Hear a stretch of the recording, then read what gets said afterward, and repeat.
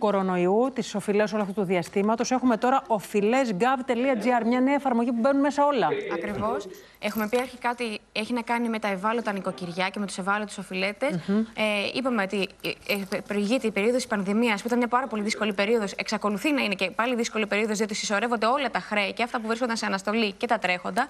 Άρα λοιπόν θα δίνετε μια βεβαίωση του ευάλωτου οφειλέτη. Τα κριτήρια τα εισοδηματικά είναι πάρα πολύ μικρά, άρα θα πρέπει να μιλάμε για πολύ χαμηλά ετήσια εισοδήματα για να μπορούν να μπουν σε αυτή την κλίμακα και σε αυτή την κατηγορία.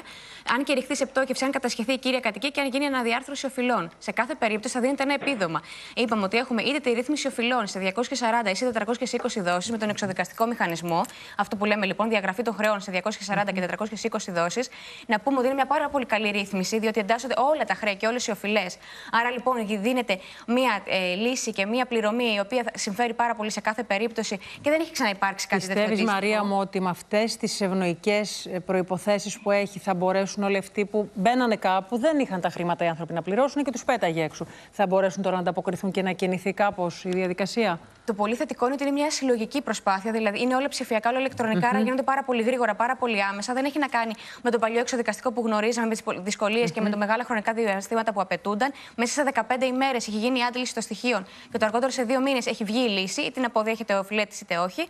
Και θα δίνεται και μια επιδότηση από 70 έως 200 ευρώ για 60 μήνες στην περίπτωση των ευάλωτων οικοκυριών που δίνει το πιστοποιητικό που δηλώνει ότι είναι ευάλωτος ο άλλος ή όχι. Και μεγάλη προσοχή, μην τσιμπάτε στο κόλπο των τραπεζών που μπαίνουν στην πλατφόρμα και πάνε και λένε εκεί στις παρατηρήσεις. Έχετε ρυθμισμένη, έχετε, είναι ρυθμισμένη αυτή η οφειλή, δεν γίνεται να τη ρυθμίσετε.